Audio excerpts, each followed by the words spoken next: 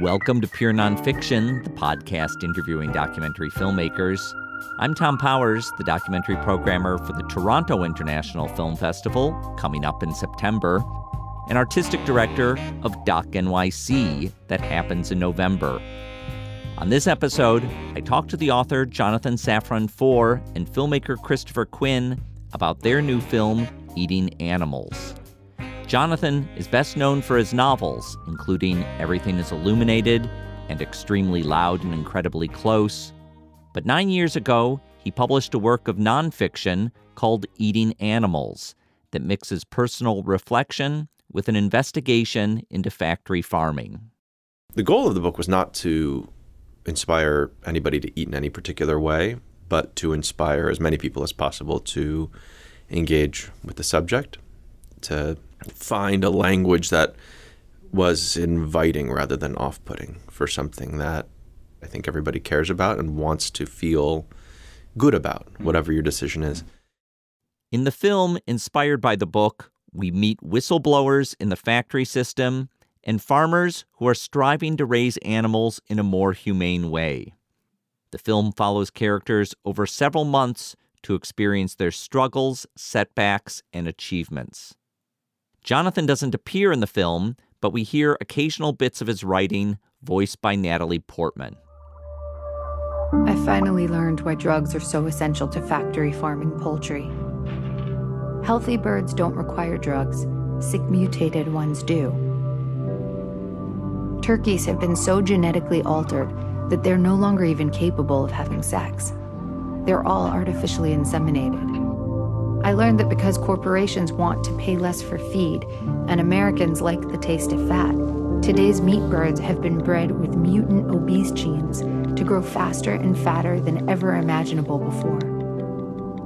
So much faster and fatter that if a human baby had her growth similarly accelerated, a two month old would weigh more than 600 pounds. Director Christopher Quinn previously made God Grew Tired of Us in collaboration with Tommy Walker. That film covered the Lost Boys of the Sudan and won the jury and audience prizes at the Sundance Film Festival. Christopher says he came to eating animals as someone who didn't think that much about cutting back on meat.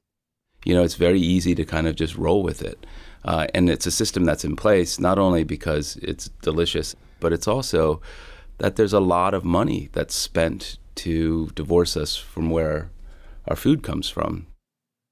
In our conversation, Jonathan and Christopher discuss the memorable characters they met on their journey. You'll hear Jonathan politely challenge me on my own eating habits, and he recalls a talk he had with Anthony Bourdain. When we began our discussion, Jonathan made clear that he still has mixed feelings after years of working on this topic.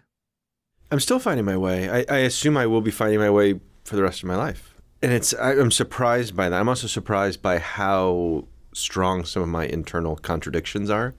You know, my desire, the desire I sometimes feel to just kind of pound my fist on the table and say, this is wrong, wrong, wrong. We cannot do that. Nobody should do that. I don't know why we're talking about it like this when we should be talking about it like murder.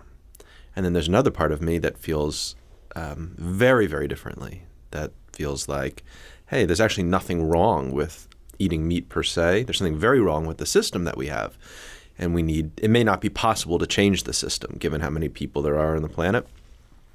Change the system in a way that allows people to eat the amounts of meat they currently eat. Um, you know, if I spent, let's say, I've been an on and off vegetarian since I was nine. I spent about two or three years researching and writing the book. I spent about two years pretty actively talking about the book on campuses and radio interviews like this, bookstores. And the most fundamental question at the bottom of the book is it right or wrong to eat animals? Is one I still don't feel I have a good answer for, or I don't have a stable answer for. Um, all of that having been said, we do live in this particular world, not in a kind of you know philosophical experiment. And in this particular world, where more than 99% of the animals that we eat come from factory farms, things become more clear and um, clear in a way that I think people can pretty broadly agree on. You know, even those who feel that animals are not to be eaten or used in any way, and those who feel that there's nothing in the world wrong with having a steak every night. Um, those are often posed as sort of the far ends of the spectrum of um, how to respond to the problem of meat, and they're really not. Like at one end of the spectrum is, or should be, factory farming is acceptable, and at the other end is factory farming is not acceptable.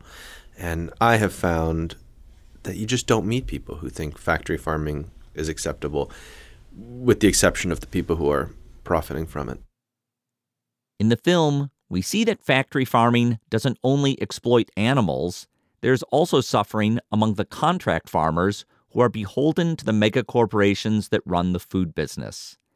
Craig Watts is a fourth generation poultry farmer in North Carolina. When he was in his 20s, the corporation Perdue Farms convinced him to expand his business by taking on debt. I went from two houses to four houses. My income did not double. My expenses more than double. It's just a treadmill of debt. Every contract's take it or leave it. You're half a million dollars in debt, you're going to take it. It sucks, but you'll take it. I asked Christopher to describe how he connected with Craig Watts. Craig Watts was a contract farmer with Perdue, and um, he, we, you know, we tried for, I guess it was two years to find that person when nobody was really willing to come out and talk about it because the ramifications would be devastating, uh, which we saw with Craig's um, family. You know, when he opened his uh, factory farm doors to us and others. So he became he was a poultry farmer working uh, under contract with Perdue, and he became something of a, a whistleblower. Um, actually, I wasn't clear. Was his did his whistleblowing take place before you connected with him? So we put feelers out, and we uh, connected with a number of people. Compassion in World Farming, Leah Garces was one that we had connected to, and we knew that that was going to happen. That he made that decision but he made that decision. It opened up his doors to anybody. Uh, so uh, Nicholas Kristof from the New York Times ran a really compelling piece um, that started the Reddit boards moving, and the, he ended up getting you know millions of hit on his on his you know uh, YouTube video that he did. So it was we included that that was part of the process of kind of exposing uh, factory farming for what it is and seeing what the fallout would be for the individual. You know, we see you and other people who are reporting on this uh, face a lot of barriers. Um, one that really struck me was something called the ag gag uh, laws. Um, can you describe what the ag gag laws are and uh, and how it affected your filming? Yeah, so uh, ag gag laws are, are state laws. They're, uh, I would argue, constitutionally challenging. You, they basically say a guy like me who comes in with a camera cannot film. Well, if he does, he or she does film inside a factory farm, they can be prosecuted. As, and it's as stiff as a felony. So, like in Iowa, it's uh, you know uh, the the law itself uh, makes it a felony. So these were really challenging uh, laws. They're being um, there's a lot of people that are taking them on and successfully winning. But I mean, if you talk to anybody about these laws, people just almost become you know the slack jaw uh, that these laws are actually in place. That you you can somebody who has a camera can be prosecuted for exposing something that is wrong, and that becomes deeply problematic. Um, and then they made it a civil law in in North Carolina. So we filmed a lot in North Carolina, and they made it a civil law that says basically if um, I film, uh, you know, the pink lagoons like you see in the film, that uh, the corporation or the farmer can come out and uh, and sue me for uh, losses so, but th- they were so broad about the law that they actually made it so if you were in a um, you know nursing home and you filmed some sort of abuse that was taking place with you know in that mm. in that facility, the person who actually took the video to expose that could be sued. Mm. So it's a very the they're kind of the laws really bend what we consider right and wrong. I think. Jonathan, I'm, I'm curious about what you've uh, confronted in uh, around the politics of this because food seems like it should be an issue that affects everyone, shouldn't necessarily be a, a partisan issue. We all want good things to uh, feed our family. Um, so, why do and how do politics become an issue here? How have they historically, or how, how might? Well, in, in our contemporary times, for starters. Well, I think they're not. If you mean legislative politics, there, there's almost nothing um, that regulates the industry. I mean, there are laws in place that just aren't enforced in terms of like conversational interpersonal politics. Um, you know, I I don't think that this is a political issue in the sense of um, one's attitude corresponding in any way to whether you're a Republican or Democrat or Northerner or Southerner or even urban or rural or age or race or religious background. Um, the you know values that are at the heart of it. It's a strange thing even to talk about in in the present moment because this expression has kind of lost meaning. But they feel like um, fundamental values.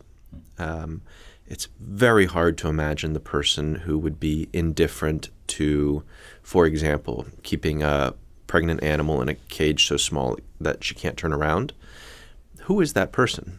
You know, I, I, I, I literally cannot conjure an image of that person in my mind, and I've yet to meet that person. Um, there are climate change deniers, and there are people who believe the science. Um, I don't know of anybody who is, and I cannot imagine the person who is indifferent to water pollution. You know, the pollution of the water that we drink and depend on, or air pollution. People, well, exactly, and and yet it's it's somehow that doesn't translate legislatively. Well, so there are a couple of reasons why that might be the case. One is um, there's no access to information. There really, there really isn't. This is something that a lot of people have. In, I mean, I can speak as somebody who really did care about this, and I had no access to information before I started writing the book. I had, I knew that something wasn't right, but I really didn't understand. I couldn't explain what wasn't right, and I, I had no sense of the the breadth of what was wrong. The other thing, which is important to remember is we have a lot of incentives not to think about it. You know, meat tastes good and it smells good. And most of our associations with meat, when we're not, you know, putting aside the kind of ethical questions about what farms are like and how animals are treated, almost all of our associations are really positive, like deeply positive, and embedded in um, family culture, national culture, religious culture for some people. So I know what that's like too, personally, to not want to think about it. Um, and to wish, as I often still do, you know, years after having made my sort of personal decision, uh, it's, it is a very regular event in my life that I wish I were eating meat. You know, when, because it's simply as somebody across from me is eating something that looks appealing to me, or it's like the 4th of July and there's a big barbecue. So I have a lot of sympathy for people who don't want to approach the subject. It, but you know, it being difficult to approach is not a is not. It, it might be um, an excuse for not digging in, but it's not a justification for not digging in. So, I, I remember um, actually having a radio interview with uh, Anthony Bourdain a couple mm. years ago when the book came out, not that long after it came out, and we sort of the, the conversation orbited around this question of like how good is the good of pleasure you know um, does the fact like where, where do we draw the line when something undeniably brings us pleasure in life and when um, not only the a kind of physical pleasure but an interpersonal pleasure and you know exp- being a, a good guest, being a good host, learning about other cultures, a lot of the things that he's now being celebrated for, which I think are really valuable and he deserves to be celebrated. But when you look at it in contexts other than meat, it suddenly becomes so much more clear. You know, like um, sexual pleasure, right? Um, that is not something that people are encouraged to pursue um, without any kind of ethical limitations, right? In fact, we all agree that ethical limitations should be pretty severe. Um, if we look at dishonesty, something that we've been talking about a lot over the last two years, um, it can often really facilitate life to lie. But nobody would say, okay, so that's a reason to lie to, at any occasion. So if we can somehow bring the conversation about meat just into the mainstream of our way of thinking about other ethical issues, that yeah, there's something we want here. Yes, it's good, but come on. We're like earthlings. We're human beings. We're citizens of a country and a planet, and we can't just have whatever we want whenever we want it. It's odd that we've exempted this one subject from that mode that we that normally like um, dictates these conversations. So, in the case of Anthony Bourdain, who's on our minds very much these days, where did you reach in your conversation with him, uh, g- given that he's someone who, you know, made a living sticking meat in his mouth? Well, we like reached an agreement within I don't know two exchanges, um, and then spent the rest of the conversation talking about why we need to move away from factory farming.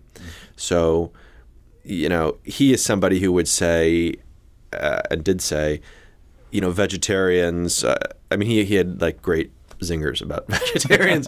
you know, um, he would say vegetarians are like Hamas, basically, not hummus, but Hamas. And uh, but if he if pushed, he would say, well, you know, what do you think of the factory farm industry? Well, that's that's the real enemy. Okay, so you think we should eat meat, but we shouldn't eat factory farm meat. Yes, that was his attitude. He was very forthright about that. And by the way, it's the attitude that most like public chefs and public foodies have. Um, so then we're talking about only eating meat that comes from small and family farms. We're talking about not eating meat that's sold in supermarkets. We're talking about not eating meat that's sold in most restaurants. We normally think that there's a 100% disagreement between somebody like Anthony Bourdain and somebody like Ingrid Newkirk, who runs PETA. In fact, there's a 1% disagreement. Mm. You know, 99% of the food we eat, meat we eat, comes from factory farms. Anthony Bourdain thinks we should not eat that 99%, but should eat the remaining 1%. Ingrid Newkirk thinks we shouldn't eat 100% of it. So it's a 1% disagreement. And if we can, like, any ways to bring the, the conversation back to the fact that it's a 1% disagreement and to highlight this broad, these broadly shared values, I think is really powerful. The film helps us understand that 1% of farmers who raise animals outside the factory system. Kansas farmer Frank Reese specializes in heritage chickens and turkeys. When I was a kid, there was a true love of the aesthetics. I would go and I would visit the farmers that I knew. When you would look out over the field and you would see a flock of barred rocks or you would see a flock of bourbon red turkeys they would truly love the beauty of what they saw, of what they were doing. That is gone today in farming. There's no way you can love an animal that has been genetically engineered to die in six weeks. Christopher describes what he learned from Frank Reese. I think once you uh, get to his farm and actually spend some days there. I don't know about you, Jonathan, but I, I was all of a sudden uh, challenged about what I thought how animals could be raised, that interaction. And Frank's animals, as you see in the film, at one moment are literally he's leading thousands of turkeys. They're following him, um, and their relationship was is very complex. And there are people that I think Ingrid would would challenge that this relationship animal husbandry is is bad, but um, that became uh, an eye opener for me. That that relationship and and how they coexist, and then more importantly, Frank has these rarefied genes. You know, these heritage breeds. His turkeys have been on the same farm for 102 years, and they have. Uh, all the things that we need if we're going to eat animals, if we continue to eat animals, we're going to need those genetics someday because the genetics that you see on the other side, the 99% that Jonathan was just remarking on, have been hybridized to such a, a, a level that they're starting to fail. And uh, here's a guy in the middle of America with all the precious genetics we need and this relates in like when you look at uh, something like avian flu, or if you look at, um, you know, his animals uh, interact with wild birds or feral birds right away. And so they have that relationship and they build an immunity based on that. Well, in, inside the you know the, the factory farms, there is no immunity. So we artificially have to support these animals that are going to die in 40 days as opposed to four months on Frank's farms.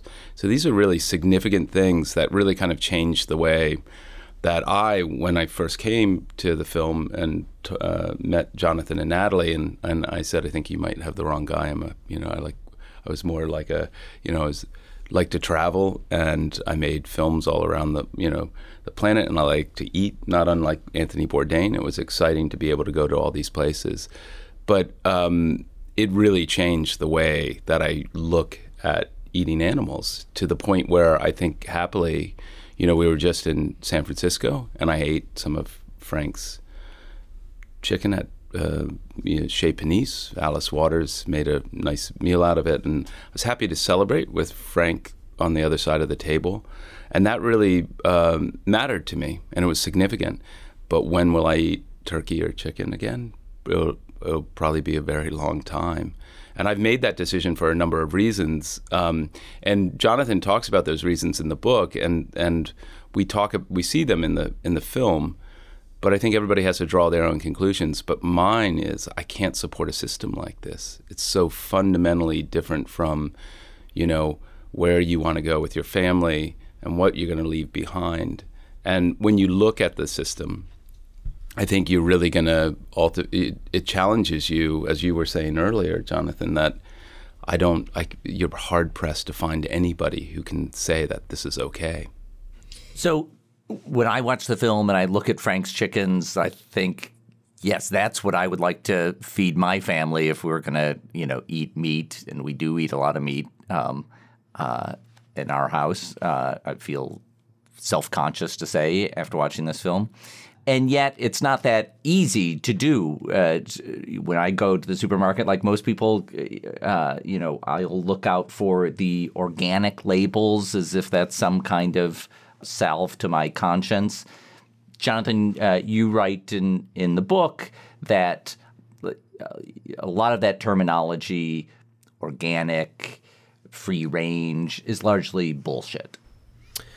Yeah, it is. I mean, a lot of it is not not only bullshit has literally no meaning. You know, like uh, terms that are not defined or in any way regulated. Um, and I, a lot of people f- have this these like uh, instincts that you have in a supermarket, wanting to find something that's a little bit better because you're going to eat meat. That's just a reality, and um, or it's a reality for now. In any case, and but you also care and you want to do it better.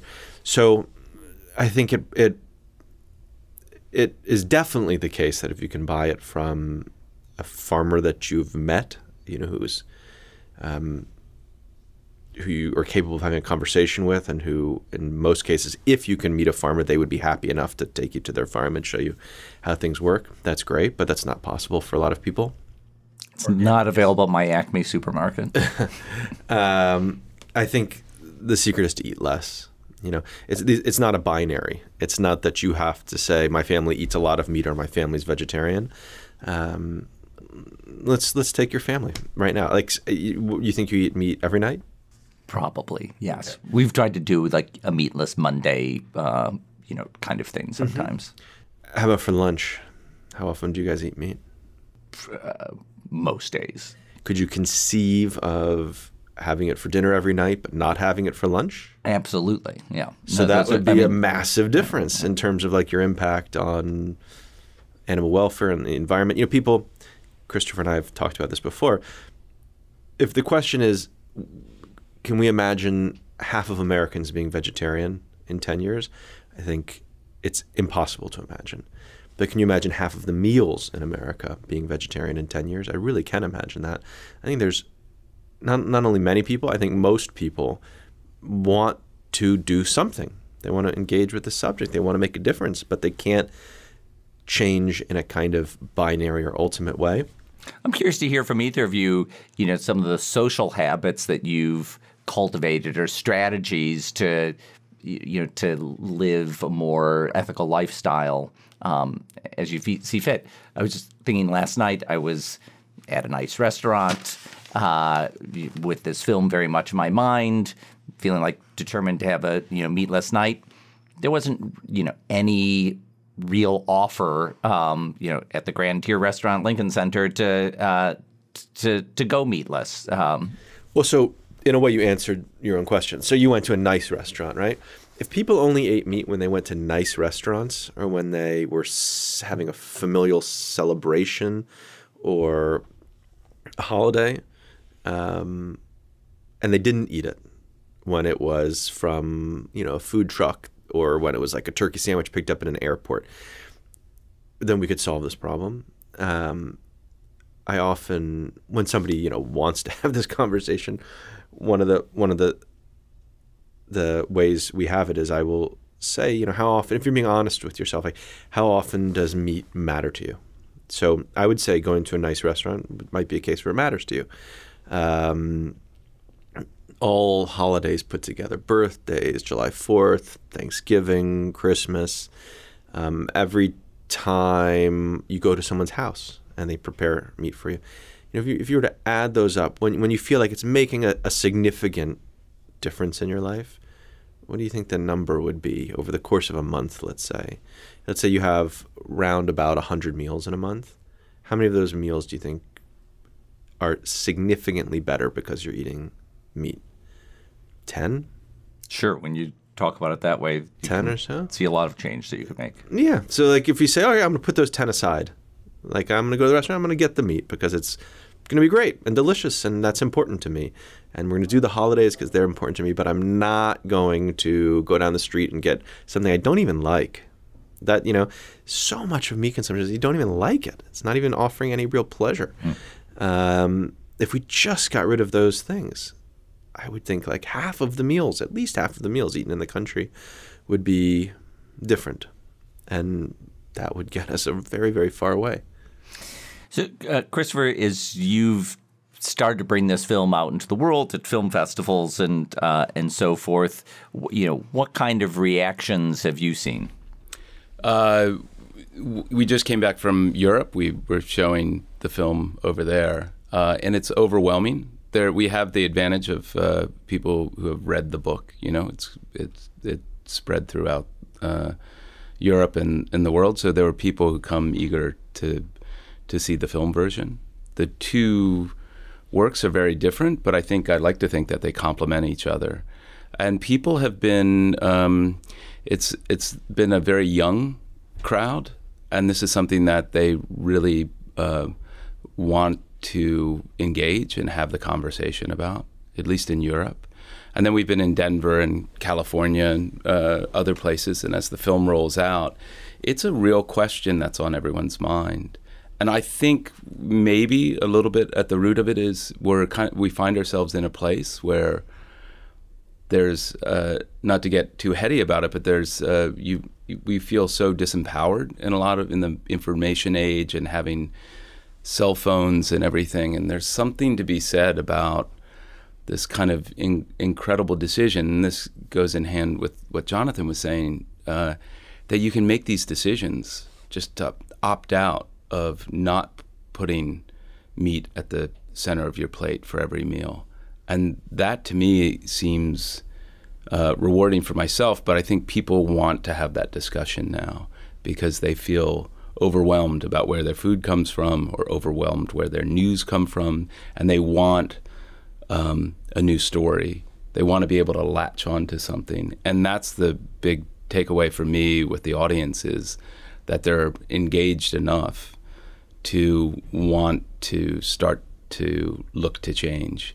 And if that does happen, I mean, it's really going to have, you know, real ramifications for what happens to our environment because you know this is the leading cause of climate change, uh, the way that we raise our um, uh, meat, dairy, and eggs, and and then it also has our own personal. You know, we've become you know this morbidly obese, and there's type two diabetes, and this is all there's a there's a correlation here. And then there's also nobody, as you know, as Jonathan points out in his book, I think it's 98 percent people have issue with an animal suffering to get that uh, you know meal on on their plate.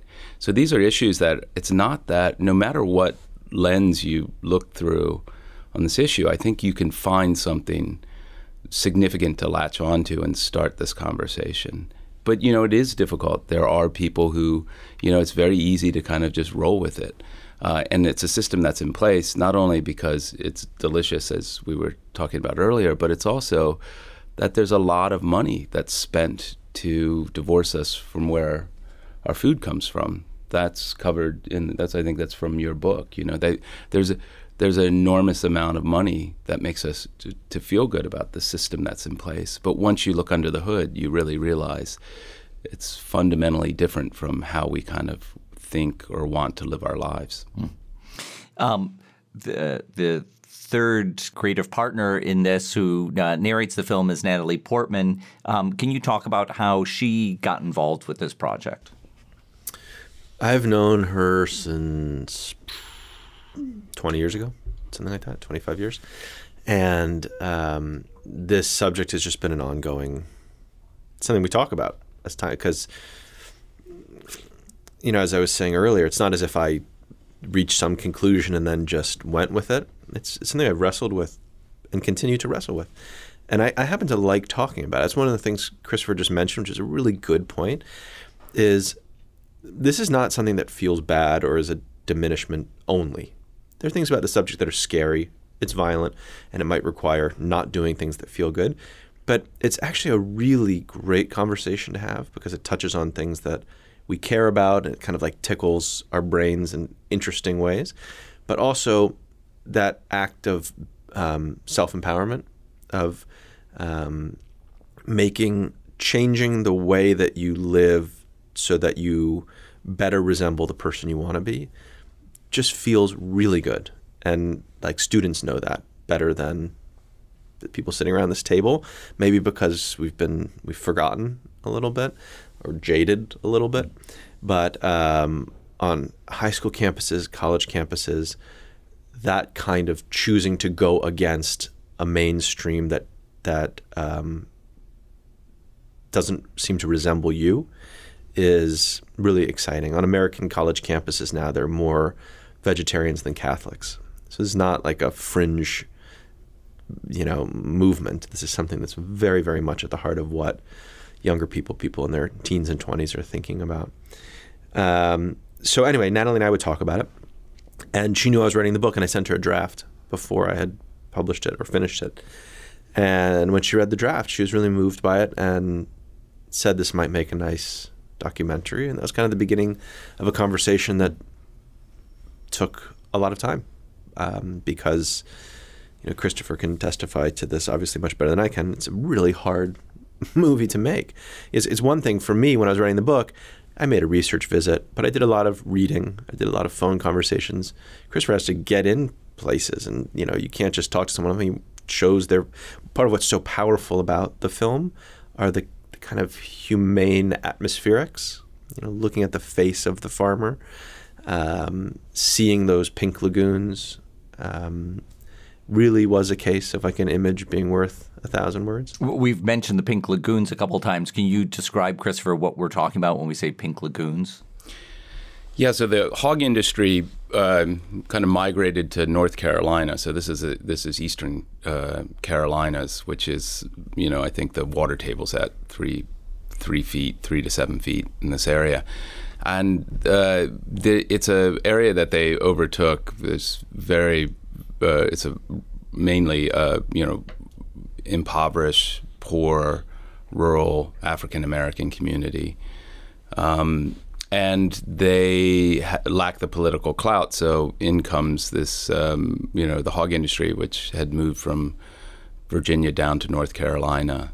Uh, you know, uh, specifically Smithfield and Murphy Brown. These are two big players that are in this area, and they just dig big ditches and they put all of the uh, excrement, the pig shit, the urine, everything goes into this big, what they call pink lagoons. Um, and uh, because the color of the water turns has a pinkish look. Yeah, it, it which in your film you have some overhead shots of uh, of of these places. Yeah, and they're remarkable. They're at you know when you're way up high in a in a plane looking at them, they look like these pink postage stamps, and then when you get closer, they're really enormous size. And they can do what they want with the, you know, they put it in the. That move from that you described from Virginia to North Carolina, did that just have to do with laxer regulations in North Carolina? Yeah, that's what I'm. You know, you know, there was political clout that stopped it from happening in Virginia, so they just migrated somewhere else. In fact, uh, Smithfield built a facility down in Brazil just to politically dangle in front of people to say we'll, we'll be happy to move down to Brazil.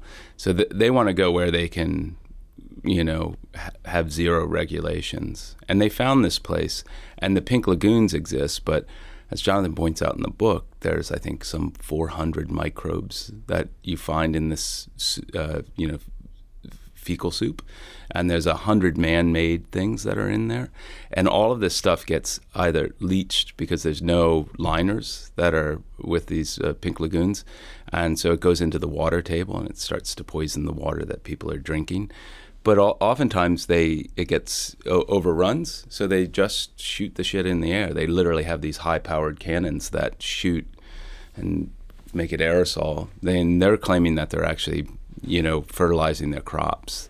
But this kind of runs into the tributaries and over the houses. I mean, literally, we filmed with somebody who house they had to run inside because their house would get sprayed at a particular time during the day.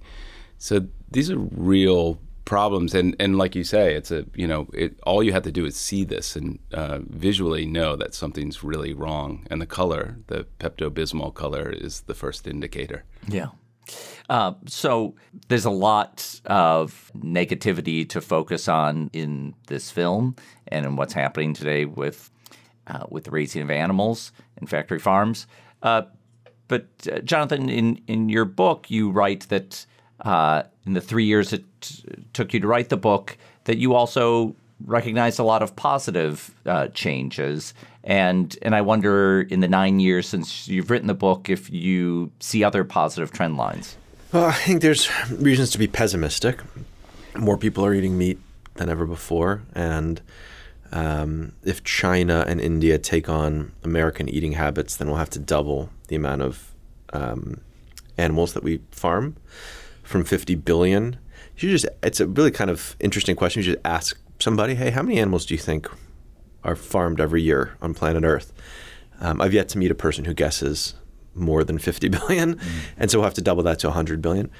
Um, but the reasons to be optimistic are certainly the world is catching on to um, the environmental effects. You know, China has instituted new dietary guidelines where they're trying to reduce their meat consumption by half in about the next 10 years, only for environmental reasons. Um, and as I said, on you know, the real hope is the younger eaters on high school and college campuses, and the idea that um, the norms will just flip. You know, on a college campus, I mean, when I went to college, and it's still the case, you go to the cafeteria, and there's a selection of options that include meat, and then there's the veggie option, right? Everybody's heard of that before, the veggie option. And I think we're moving toward um, country and hopefully a planet in which there will be a meat option. You know, it's not the world is not going to go vegetarian anytime soon, but that really is easy to imagine. Um, so, you know, what's most inspiring the world has a lot of problems right now. I don't think there's a problem that's bigger than this. Um, but there are other big problems. The other big problems require us to elect new governments, require us to spend hundreds of billions or trillions of dollars, um, might require us to somehow um, shift our ethical perspectives. This is a problem that only requires individuals to act on what they already believe. Um, and it's amazing to think about what would happen if we did. You know, we happen to have a ticking clock on this problem because we have, let's say, 20, 30 years to change the way that we um, relate to the environment or we will do damage that is irreparable. I mean, we have done damage that's irreparable, but we will really lose the planet. Um, this is the worst thing that we do to the environment. So we take a clock. If we're capable of pausing in supermarkets when we put food into our cart, pausing at restaurants when we decide what to order, we will literally be able to say we saved the world. Like our generation saved the future of human life. It's not an exaggeration. Um, I find thinking about that to be incredibly inspiring. It's a very happy thought, actually.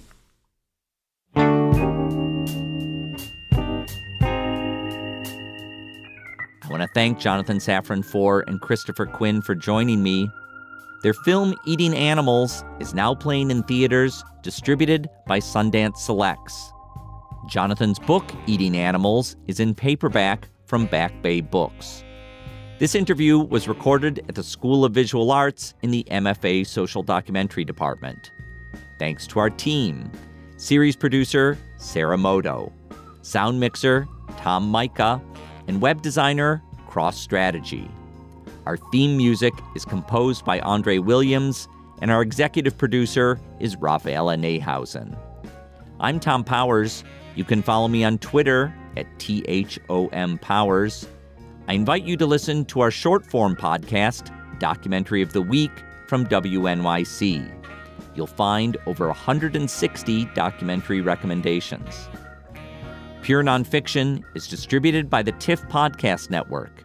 You can read our show notes, learn about live events, and sign up for our newsletter at purenonfiction.net.